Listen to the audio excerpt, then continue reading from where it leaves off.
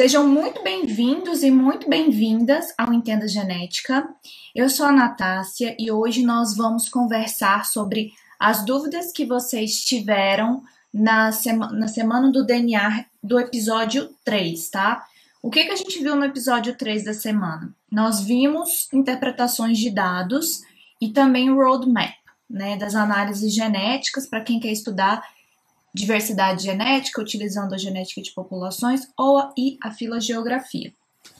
Então, eu vou tentar responder aqui a pergunta de vocês. Eu agrupei porque elas foram bem similares assim, e a maioria delas era em relação à interpretação dos dados no programa Arlequim. Então, a gente vai abrir aqui os resultados deste programa, o que, que a gente encontrou lá, o que, que nós podemos retirar para interpretar os nossos dados e também os gráficos, tá bom? Então, se você tiver alguma dúvida, coloca para mim no chat.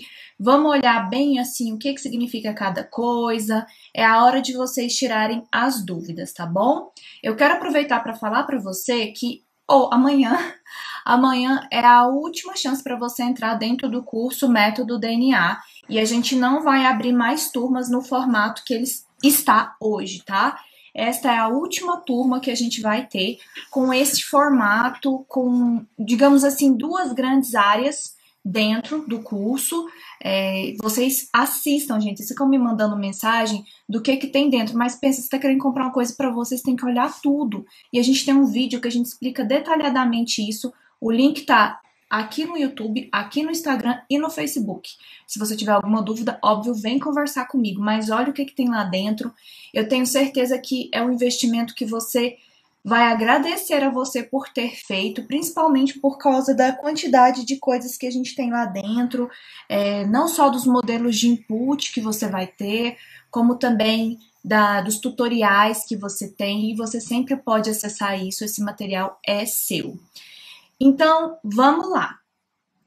Primeira coisa que eu recebi de dúvida foi o seguinte: para diversidade haplotípica, mas isso também serve para dados de microsatélites, tá? Algumas pessoas rodaram o programa e não obtiveram os parâmetros de diversidade que nós obtivemos. Eles não encontraram a mesma coisa. Provavelmente clicou num botãozinho que não foi o mesmo que eu. Então, eu não vou rodar o Arlequim aqui porque a gente fez isso ontem. Mas é, tá na live, já tá disponível para vocês no canal, episódio 2, tá? Mas eu vou abrir aqui o programa só para mostrar para vocês quais foram as opções que eu cliquei para que nós obtivéssemos aqueles resultados de diversidade genética, tá bom? Então, abrindo aqui o programa. Ok, tô com o programinha aberto aqui. Vou escolher aqui um input qualquer só para eu conseguir habilitar o nosso, os nossos dados. Como eu falei para você, aqui não importa se são sequências ou se são microsatélites, as opções que nós vamos apertar são sempre as mesmas, tá bom? Então, aqui na opção Settings de configurações, você vai clicar na opção Molecular Diversity Indices e aí você vai clicar então em Standard Diversity e em Molecular Diversity, ok? São essas as opções. Quando você tem dados de microsatélites, é, provavelmente não vai aparecer essa opção aqui para você de teta, é, teta teta k, teta s, porque TTS é o, o, o, número de sítios segregantes, TTK é o número de alelos que você tem, TetaPi é a diferença para a para entre as sequências, porque esses parâmetros aqui são para dados de sequenciamento, ok? Então não é o que a gente está olhando, não, não bate com os microsatélites, por isso que não vai dar para você clicar aqui para os micros, mas para sequência sim. Enfim, clique então nessas duas opções Standard e Molecular Diversity, que aí você vai obter então aqueles resultados de heterozigosidade esperada ou de diversidade haplotípica que eu mostrei para vocês, tá bom? E se ficou alguma dúvida, vai colocando agora aqui no chat pra gente, que nós já podemos resolver isso para você. Vamos para a próxima. Vou confiar na minha memória. Deixa eu ver aqui. Ok. Ah, sim. Pergunta que me enviaram. É, nós não conversamos sobre o teste de Mantel na semana do DNA, porque não era objetivo. Nosso objetivo era que vocês aprendessem a estimar a diversidade genética. A gente faz isso bem completinho lá no curso Método DNA. Mas é, a pergunta que me fizeram, assim, é aquele modelo de input que eu disponibilizei poderia ser utilizado para as, as, as análises, você podia transpor, né? Gente, vocês podem usar aquilo ali, é um modelo, tá? O modelo de input é um modelo que você vai adequar os seus dados. Então, no modelo que eu disponibilizei para vocês, tem uma matriz de distância lá embaixo. Deixa eu mostrar aqui. É, matriz de distância. Vamos clicar aqui. Aqui. Então, a gente tem essa matriz de distância. E essa matriz de distância, você tem que adequar os seus dados, porque aqui é a matriz de distância do meu dado, entendeu? Então, não, não tem como você usar isso daqui por causa disso, porque é a matriz de distância do meu dado, mas aí você vai pegar e vai fazer para o seu dado.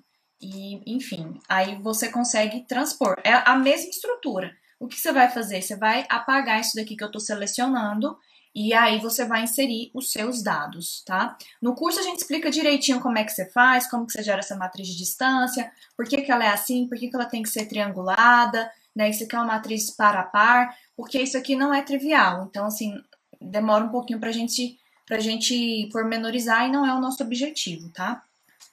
Então, mas assim, respondendo a pergunta, sim, esses modelos podem ser usados tanto para um quanto para tanto para micros, quanto para sequências, quanto para SNPs, tá?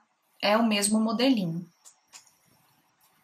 Ok, vamos agora tirar isso daqui, ver, verificar qual que era a outra dúvida. A outra dúvida...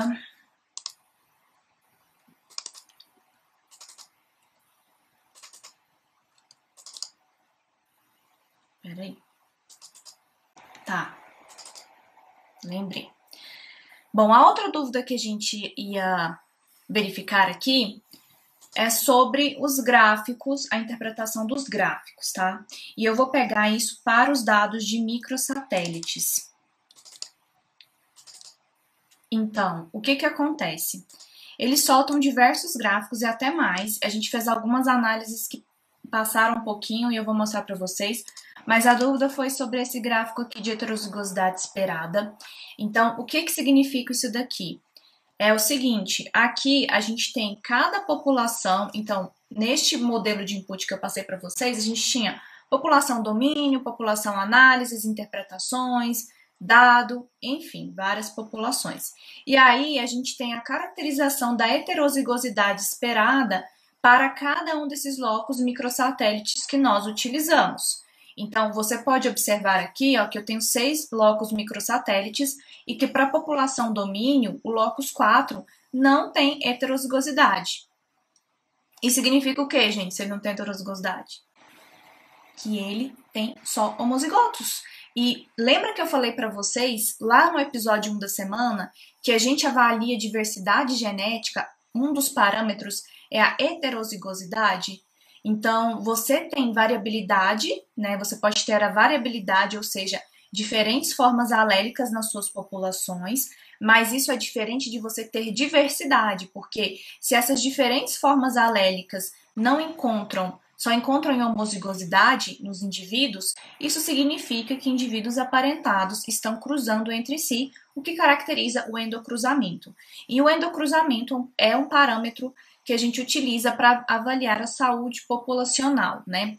E também para a gente verificar questões de fluxo gênico, são várias questões envolvidas. Pensa, se eu tenho poucos alelos e se esses poucos alelos estão encontrando entre os indivíduos gerando homozigotos, o que, que pode estar ali por trás? Então, tudo isso são questões importantes para sua investigação e para sua pesquisa em diversidade genética, em caracterização de banco de germoplasma. Se você está buscando também associar alguma característica, né, de indivíduo afetado para alguma patologia, para algum tipo de doença, a gente também observa isso.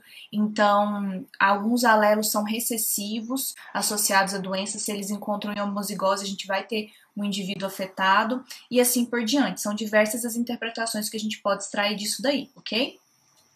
Então, olha só, aqui para essa população, no locus 4 não tem heterozigosidade, mas se a gente olhar aqui na população análises, a gente tem uma heterozigosidade. Para a população genéticos, a gente também tem a heterozigosidade vinculado ao locus 4, tá? Então, tudo isso aqui a gente explora lá no curso, tudo bonitinho. É, que mais? Ah, tá. Me perguntaram o que, que era esse allele size aqui, range, né? O allele size range é o intervalo que você tem do tamanho do alelo. Então, os alelos, eles podem ter tamanhos distintos, tá? Então, você pode ter um alelo, por exemplo, que ele tem um tamanho de fragmento que vai, imagine que é uma régua, tá? O alelo, que vai do 1 ao 20, é o tamanho de fragmento dele. Então, quer dizer que ele pode ocupar diversas localidades aqui nesse range, nesse intervalo de confiança que a gente tem, que caracteriza esse tamanho do alelo, ok? Nath, como assim? Olha, isso quer dizer que eu tenho inúmeras possibilidades de que esse alelo ocupe aqui posições. Então, eu vou verificar qual é o tamanho do meu alelo, né? O range do meu alelo na, nos meus locos. Peraí que eu acho que tem pergunta. Ah, posso continuar. Porque eu tenho um assistente que é o meu marido, gente, o meu assistente de palco. então tá. Então, gente, essa caracterização é importante. Nath, mas como que eu genotipo isso? A gente tem que olhar um negócio que chama motivo de repetição. Então, você tem que ver qual é o motivo de repetição do seu, do seu primer para você verificar, por exemplo, se ele muda a cada duas unidades, se ele muda a cada três unidades, tá? Peraí, deixa eu ver. Rafael, Nath, qual a diferença desse software para os servos, FSTAT e outros conhecidos? Rafael, seguinte, os servos, ele avalia o fluxo gênico, né? Ele é bem voltado para fluxo gênico. FSTAT faz caracterização de diversidade genética também, tá? E eu particularmente gosto bastante do FSTAT, a gente tem ele no nosso curso. O FSTAT ele dá alguns parâmetros, como por exemplo, o número, se eu não me engano, o número efetivo de alelos que o Arlequim não dá, beleza? Porém, o Arlequim ele faz outros tipos de análise, como é, esse parâmetro que eu vou te mostrar aqui, ó. Esse parâmetro G que a gente utiliza para verificar se essas populações estão é, em bottleneck, então é um teste de bottleneck. Ele faz a AMOVA, e aí você consegue particionar em vários grupos, não dá só um índice de endogamia como o FSTAT dá. Ele dá também a possibilidade de você ver o, as populações para a par, né? A diferença genética para a par entre elas e fazer também os gráficos automaticamente pelo R, que eu acho fantástico. Então, por exemplo, aqui, ó, deixa eu te mostrar. Ele já gera com esses resultados um gráfico como esse aqui, com a matriz de diferenças genéticas para a par, tá vendo? Então, por exemplo, sei lá, já, já vou aproveitar aqui e puxar o gancho para explicando as dúvidas que me foram enviadas, ok? É, aqui eu comparo uma população com a outra e eu vejo o quão diferentes essas populações são entre si. E por que, que eu faço isso? Ora, porque se elas são muito diferentes entre si, algo está impedindo o fluxo gênico entre elas. O que é? Vou investigar. É uma barreira geográfica? É uma barreira ecológica? É um isolamento por distância, né? Então aqui do lado a gente tem essa reguinha e essa reguinha aqui é uma métrica dessa distância do FST e vai de zero aqui, é, na verdade o FST ele vai até 1, né? Mas como aqui no meu caso o máximo que eu encontrei para as minhas populações simuladas foi 0,30, por isso que a reguinha está até 0,30. Então, quanto mais intenso essa cor, maior a diferença entre essas populações. Então, a população genéticos, aqui a população diversidade, são extremamente distintas uma das outras. obviamente a gente tem que olhar o p-valor associado aqui. Outra coisa também que ele faz, né? Ele, que eu acho super bacana, ele pode calcular pra gente o teste de Mantel. Então, eu não utilizo só o Arlequim para fazer os meus cálculos, tá? Por exemplo, ele não dá o número de alelos aparentes, ele não dá o número de alelos privados, como eu falei, ele não dá o número efetivo de alelos. É, parâmetros que nós podemos utilizar tanto no é, tirar tanto dos servos, né, que a gente usa mais para essa questão do fluxo gênico, quanto no próprio F-stat. Então a gente não usa só ele, tá? Ah, e outra coisa, o F-Stat, nós vamos usar lá os microsatélites. O Arlequim a gente pode usar para os SNPs, para sequências, para os micros também, viu, Rafa? Se ficou alguma dúvida, bota aí para mim. E deixe saber, por favor. Mas assim, eu sei que falando aqui parece meio complexo, não é, gente? É, é tranquilo, tá? É porque tem muito, muito conteúdo por trás, por exemplo, desse gráfico, né? Por trás dessas escolhas aqui. Ok? Beleza. Então, ah, tá. Então, já que a gente está falando sobre os micros, e eu mostrei para vocês aqui, então a dúvida foi sobre o gráfico dos alelos, eu vou mostrar. Também o pessoal ficou na dúvida de onde a gente encontra os resultados, e aqui no caso a gente está olhando os resultados de diversidade. E assim, gente, lá no curso tem uma apostila específica, não, por exemplo, ah, aqui a gente tem a apostila do Arlequim ou do FSTAT, não. A gente tem uma apostila para cada análise. Porque para mim não é o software, é a análise.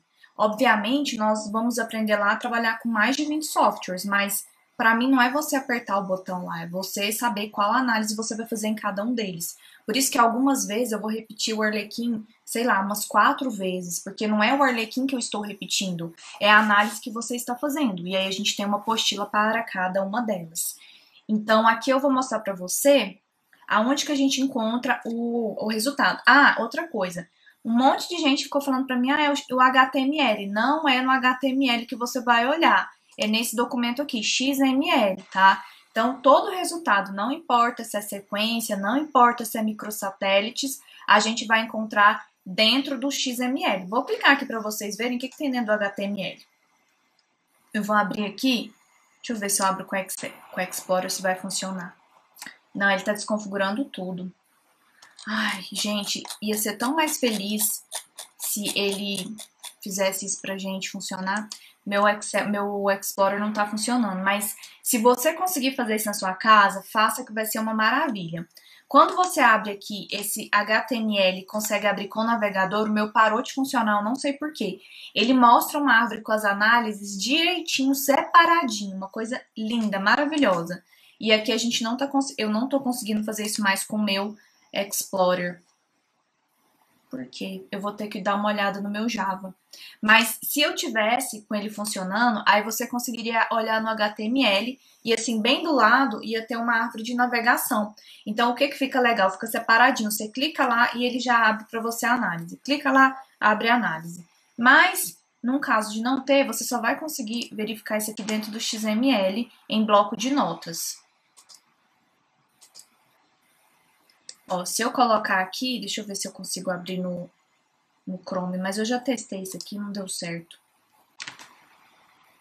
Ai, tá dando erro, tá vendo? Então, o XML a gente vai abrir no bloco de notas mesmo. Ok. Ah, outra coisa. Outra coisa. Não, ir por partes. Tô, tô cortando aqui caminho. Então, vamos lá. Vamos procurar então a heterozigosidade esperada para os microsatélites aqui no nosso arquivo de saída. Eu espero que vocês tenham rodado e tenham conseguido a mesma coisa que eu, tá? Eu não disponibilizei os resultados porque eu queria muito que vocês rodassem e que quem não conseguisse rodar falasse comigo para você ter o resultado. Porque eu, eu quero que você entre e saia com algo na mão, né? Aliás, eu acho que você quer isso também, né? Porque ficar amassando barro Ninguém tem tempo para isso. Então, aqui eu coloquei as populações e a gente vai verificar o resultado por população. E logo assim que a gente começa os cálculos, ele coloca aqui, ó, pra gente, análises em nível intrapopulacional. Então, ele vai colocar cada uma dessas populações. Sample domínio. Em sample domínio, ele vai colocar uma tabela aqui pra gente com os resultados dos locos polimórficos dos microsatélites. Então, para o primeiro locus, ele coloca aqui para gente qual é o número de alelos que esse locus tem. Ó, esse primeiro locus aqui tem pouquinho alelo, só dois, tá? Depois ele coloca qual que é a heterozigosidade observada, qual que é a heterozigosidade esperada e o range alelic, né? O intervalo desse alelo de ocorrência, mais aquela estatística que eu falei para vocês, que é uma estatística de bottleneck, mas aqui para esse caso ela não é viável, porque a gente tem alguns princípios para usar essa estatística GW, tá? Não é sempre que ela é interessante de ser utilizada. E lá a gente vê direitinho por quê no curso. Mas aqui embaixo, então, a gente tem a média de dos locos que nós utilizamos para cada um desses parâmetros estatísticos aqui. Então, aqui eu tenho a heterozigosidade observada, heterozigosidade esperada. Quando você for procurar aí no seu arquivo, anota aí, coloca OBS, tá? Ou EXP de esperada, porque daí você dá um Ctrl Find e já encontra isso daqui. Beleza? Então, olha só, ele vai fazer isso para cada uma das nossas populações. Aí vem com a população análise, e aqui vem do mesmo jeito.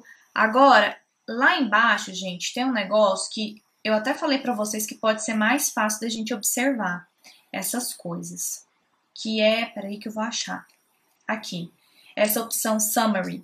Essa opção Summary, ele é, um, é como se fosse uma sumarização de tudo que foi analisado lá. E geralmente eu gosto de vir direto aqui, tá? Então você pode dar um Ctrl Find, digita Summary lá, porque daí, olha só, ele vai colocar aqui para você, por exemplo, heterozigosidade esperada, já para cada população, tá vendo? Compilado, você não precisa ficar rodando lá e colocando, não, dá para você copiar isso aqui, já colar no Excel e organizar direitinho. Então, aqui a gente tem já para cada uma delas o que, que foi polimórfico para cada um dos blocos, tá vendo fica muito mais fácil do que você compilar aquilo ali?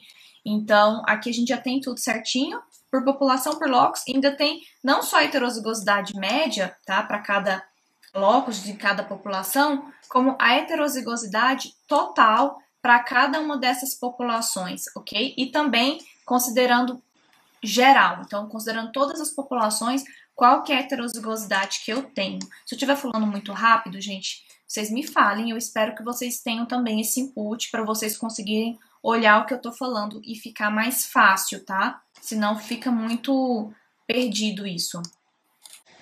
Gente, quando a gente analisa várias vezes o Arlequim, ele cria dentro do mesmo arquivo é, as análises repetidas. Então, eu quero falar para você tomar cuidado quanto a isso, viu? Porque algumas vezes as pessoas modificam o input do Arlequim porque resolveram criar outros testes, se foi lá na MOVA, pensou em criar, verificar se tem diferença genética entre outros grupos, enfim, testando e tudo bem, não tem problema, mas acaba mexendo no mesmo input ou então escolhendo outros parâmetros e você não sabe disso algumas vezes, mas essas análises elas vêm para o mesmo arquivo. E olha só, aqui, por exemplo, eu tenho essa análise que foi feita dia 10 do 8 às 23 e 7. E aqui eu tenho em cima a análise que foi feita dia 10 do 8, 23 e 6. Então são duas análises distintas. Se você não souber disso, nossa, eu já passei raiva com isso quando eu não sabia, de verdade. Eu vinha aqui direto e pegava a, o primeiro resultado que tinha. Então, várias vezes eu pegava resultados errados. Por quê? Porque, na verdade, a análise que eu queria estava aqui embaixo. Sim, sobre a AMOVA. Me perguntaram também sobre a AMOVA. Olha, a gente não fez análises de AMOVA. eu fiz análise no episódio 2 com vocês, só porque eu achei que ia ser legal mostrar como é que funcionava. Mas é, a gente não, não fez assim uma análise muito aprofundada. Mas eu quero te falar que dentro desses resultados que nós geramos, para você encontrar a MOVA, digita lá a MOVA, dá um Ctrl Find que você vai achar. E a gente, quando trabalha com a MOVA, nós trabalhamos com hierarquias. Então, eu quero verificar, por exemplo, se tem diferença entre populações, mas também se tem diferença entre grupos de populações. Então, por exemplo, é, faz de conta que eu tenho. Faz de conta que cada um desses, dessas bolinhas aqui, desses pins, são populações, tá? E faz de conta que cada um desses lixinhos aqui de, de apontar lápis são populações também. E elas ocorrem ali num local que eu quero verificar se tem diferenciação genética em virtude de uma barreira ecológica que existe. E essas populações estão mais próximas geograficamente que essas. O que, que eu posso fazer na MOVA? Agrupar essas populações em dois grandes grupos aqui e verificar se há diferença entre as populações aqui do PIN e as populações do apontador.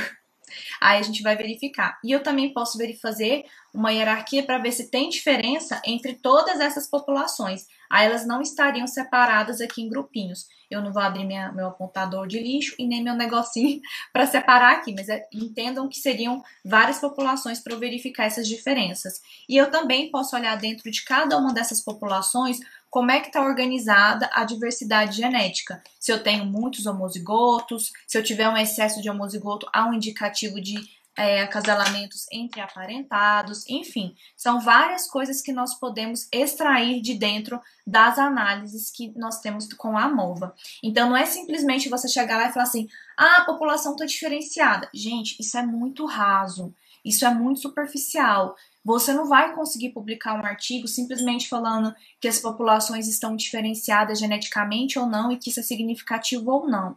Por que, que você acha que as populações estão diferenciadas geneticamente? O que, que tem ali por trás? Qual que é a ecologia da sua espécie? Tá? Por, por que está desse jeito, né?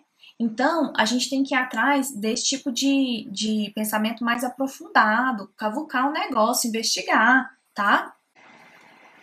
Aí, ó, falando sobre isso, sempre que vocês olharem que o índice de fixação, esse parâmetro FST aqui é relacionado à diferença entre todas as populações que nós estamos a avaliar. Observe sempre o p-valor. Você tem que olhar se essa diferença que eles encontraram, que o software detectou, ela é significativa ou não. Beleza? Ok, então a gente... Ah, agora falta das sequências. Então agora eu vou mostrar para vocês aonde que nós encontramos a diversidade nucleotídica para os dados de sequenciamento de Sanger.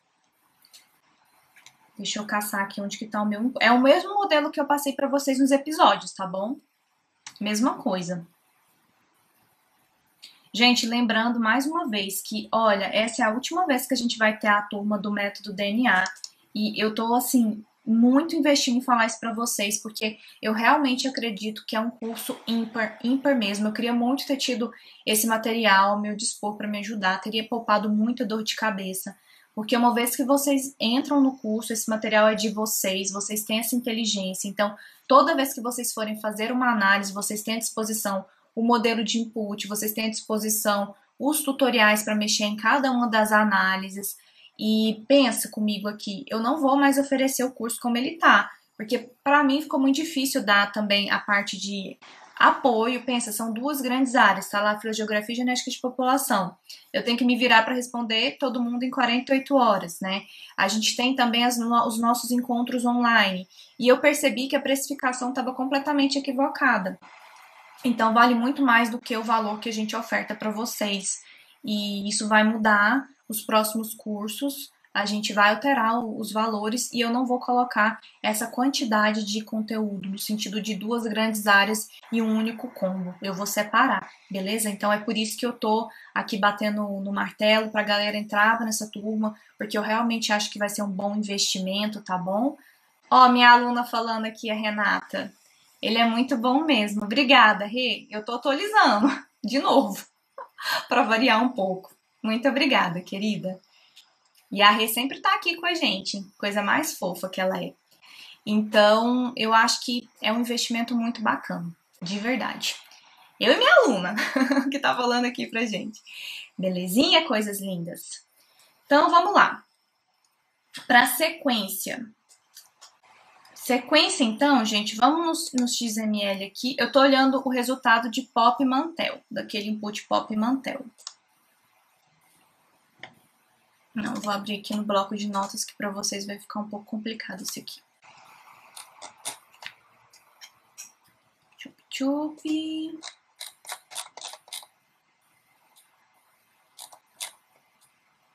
Tá, a gente vai olhar então agora a diversidade nucleotídica, ok? A diversidade nucleotídica é chamada nucleotide diversity. Então, você vai copiar esse nome aqui, colar e vai dar um Ctrl Find para encontrá-la. Aqui, como a gente está olhando por população, a gente vai ter isso por população e como eu coloquei tudo dentro de um grupo só, a gente tem Group 1 e a caracterização dele todo, tá? Então, todas as populações aqui dentro, elas têm uma diversidade haplotípica de 0.01 quando eu considero um único grupo. Lá embaixo também a gente tem aquela questão do summary. Então, sempre vai no summary que isso daí salva vidas. Deixa eu caçar o summary aqui. Então, vamos lá. Aqui está o summary.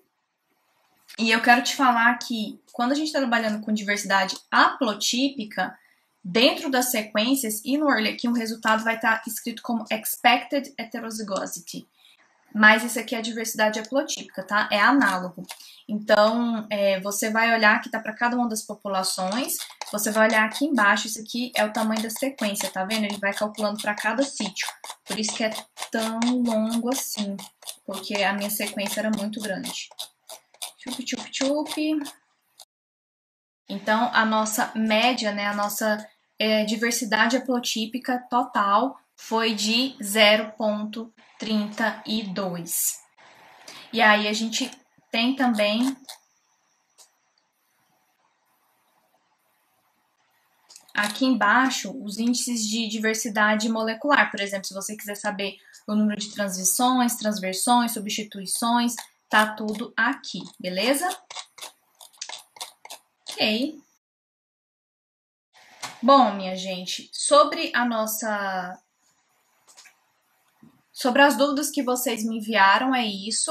Se ficou alguma dúvida, coloca aqui que eu respondo para você. É, eu sei que é muito corrido e parece muito complexo, mas não é. É muito simples se você seguir um passo a passo orientado e vai fazer muito sentido para você. Mais uma vez, não esquece, amanhã, 23h59, eu vou fechar a última turma do método DNA. E aí, quem entrou vai ganhar um presente que vai ficar aí para ser usufruído. E então eu espero você, eu espero que você faça essa decisão de estar comigo. Encaminha para os amigos, viu, gente? Porque aqui a gente tem muito salvamento e pouco compartilhamento. Encaminha para outras pessoas que eu tenho certeza que também pode ajudar. Um abraço e tenha uma excelente noite de descanso. Até breve!